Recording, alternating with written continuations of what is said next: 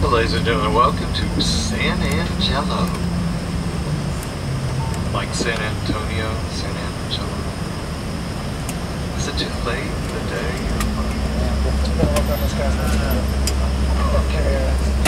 We do ask that your main seat is keep those seatbelts securely fastened until we are at the gate. The captain has then turned off the fasten seatbelt sign. Also, if you would please keep the aisle clear of personal items as well. Once we're at the gate, the captain has turned off the fasten seatbelt sign. Be sure to check around your seated area. Make sure you don't leave any of your goodies behind. Check those seat back pockets as well as the overhead bins.